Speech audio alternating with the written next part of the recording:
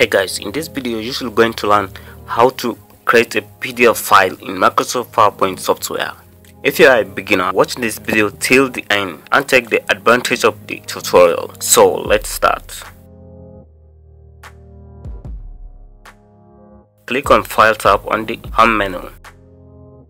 Click on Export and press Change File Type. Then click on Save As. Choose a location. Type file name. Click on As Type and click on PDF format.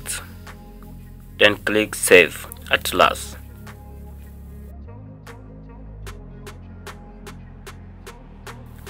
Let us open and see it.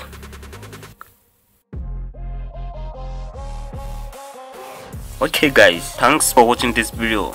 If you enjoyed this video, feel free to give it a like and hit that subscribe button to see more of upcoming videos. Or the links can be found in the video description to share it with friends. Bye bye.